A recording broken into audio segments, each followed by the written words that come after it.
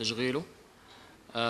والآن فعلا المشروع في أقل من ستة شهور الآن الاصطاف بتاعه أكثر من 16 موظف. والآن الآن نحن يعني خلاص على حساب تعيين مدير التنفيذي بولاية القضارف الآن يعني هو موجود عندنا قدامكم.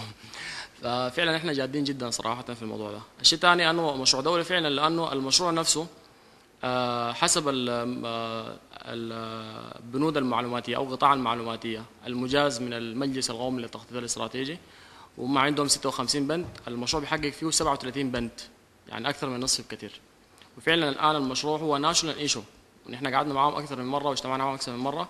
والآن المشروع في فكرة إنه يقدم إنه يطلع بقرار من مجلس الوزراء أو يطلع بتشريع حتى أيضا زي التعليم التقني من المجلس الوطني.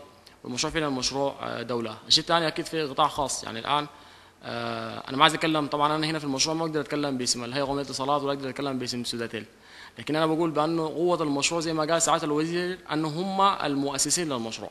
إذا بنتكلم على الإنترنت نحن بنتكلم كسوداتيل. بنقلع على الكرافته ونلبس جينز ونشتغل زي المهندسين بتاع سوداتيل. فعلا حقيقة دي فلسفة المشروع. عن كلام وزاره تعليم عام قاعد يشوفون وزاره التعليم العام باستمرار. بنفس الحكاية بنمشي ونقعد وهكذا. لأنه ما ينفع إنه ننتظر تمويل المشروع. نحن الآن ما دام المشروع فعلا بنفذ استراتيجية الدولة في الأمر ده والآن سعاده الوزير عضو في مجلس الإدارة وبيقعدوا في اجتماع مجلس الإدارة بكل تجرد من قصة أنه وزراء بيقعدوا زي ما نقولوا في الأرض يعني ويفكروا في المشروع كيف يمشي لقدام. دي معناها فعل جدية أنه البروجكت يمشي تكون في نهضة تكنولوجية وهو أيضا هو المسؤول من النهضة التكنولوجية في البلد. فدي حاجة مهمة جدا أنه والله في سند حكومي وفي قطاع خاص متفهم وعايز يستثمر في التعليم التكنولوجي. أنا عايز أقول يستثمر في التعليم التكنولوجي مش معناها بس فلوس يعني. معناها أكيد هم في فلوس وغير كده في استثمار إنسان واستثمار معرفة. فالمصادر كثيرة جدا وكل مرة بتزيد واكد ليه كل مرة ال staff زايد؟ وكل مرة الآن مثال ال project بتاع اللابتوب ما حبيت طبعا أطلع من نطاق المعامل العلمية الآن. يا ريت لو نحن ركزنا فيها في الأسئلة يعني. لكن الآن في مشروع تكلفته 25 مليون دولار وقعنا له عقد مع شركة ممولة اسمها MIS ومع شركة السوداني للإنترنت يكون مخفض جدا للابتوب خاص للمعلمين. ونحن ما عايزين نتكلم في الإعلام بلابتوب خاص معين كل مرة لأنه تردد فنحن الآن خلاص فتحنا الاحتمالات أو الشركة فتحت الاحتمالات واستلمنا صورة منه. والآن نحن في أعتاب نستلم اول دفعة نموذج لدعم المعلمين بالنسبة لللابتوب يعني. نسبنا الدور الايجابي الممتاز حيال مشروع التعليم التكنولوجي في السودان.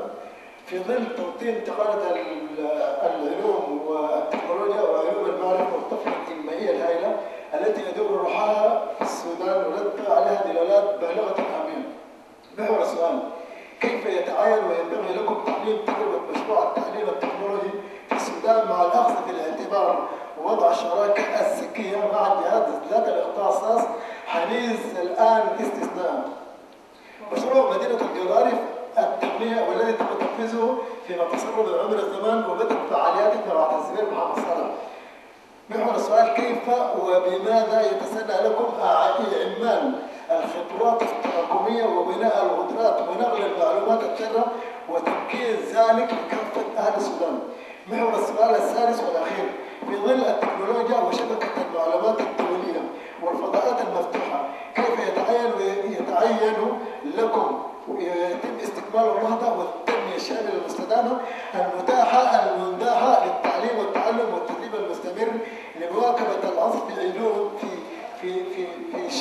العلوم والتكنولوجيا مع أن ومن ثم وزارة العلوم والتكنولوجيا نجحت نجاح منقطع النظير في هذا الشأن ومزيد من التقدم والازدهار للمشرق للسودان الحر الابي المستقل. شكرا للاصغاء والحضور والتلقي. من الخبرات المحلية الآن إحنا عندنا مجلس استشاري المجلس الاستشاري للمشروع نحن كشباب يعني لو حصل الإدارة التنفيذية كلها شباب صراحة لو دخلتوا ال website حتلقوا يعني حتعرفوا شنو المشروع لأنه ال website في اتصل بنا بتلقى إيميل لكل المجلس الاداره وللمجلس الاستشاري وللجنة التنفيذية وللمج... والاداره التنفيذية. الخبرات كان عن الخبرات اللي نستفيد منها الآن فعلا نحن الآن كإدارة تنفيذية لا نستطيع انه نمضي في أي مشروع أو أي برنامج للمشروع ما لم نقنع المجلس الاستشاري. والمجلس الاستشاري للمشروع رئيسه البروفيسور عز الدين محمد عثمان خبير الوطني في الاتصالات والمعلومات وشخصية معروفة وكان مدير جامعة السودان سابقا. آه مثال أيضا مولانا خلف الله الرشيد رئيس القضاء الأسبق ماسك الدائرة القانونية. دكتور أسامة الرئيس مدير عام مدينة أفريقيا آه، التكنولوجية هو دائرة المشروعات. وهكذا. المشروع آه، فلسفته واستراتيجيته وتكوينه مبني على أساس أنه فعلا مشروع دولة. صحيح القالب هو معمول بالشكل ده لكن بعد ذاك أثناء الشغل من مشروع لمشروع بتظهر النتائج وبتظهر فعلا آه، دورهم. يعني مثال بسيط. أنا امبارح كنت مجتمع مع الدكتور عز الدين كامل أمين. وبيتكلم على النفاذ الشامل بالنسبة للإنترنت والإنترنت المجاني للمدارس ولا فأنا كنت معصور عصره رهيبة جدا منه صراحة لكن استفدت جدا منه وهو كذلك استفاد وعرف لأنه كان بعض المعلومات آه، عندهم بطريقة خاطئة وهو من المؤسسين. فعلا نفس الحكاية جيت آه، لموضوع آه، في ميتن لموضوع الإنترنت مع ناس سوداني نفس الحكاية قعدنا نفكر كسوداني. ففعلا المشروع الآن هو جه- جهة تنسيقية وأيضا بتكون جهة تنفيذية مع الجهة الاصلا صاحبة الأصل في العمل إن كانت وزارة أو إن كانت آه، شركة. أما ما يتعلق باستكمال النهضة فالسؤال ده أعتقد آه، للسيد الوزير.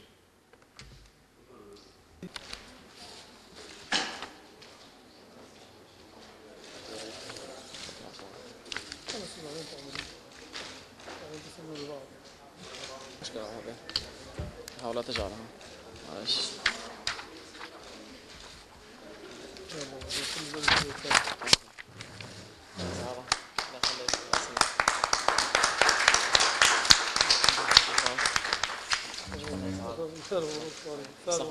على بعض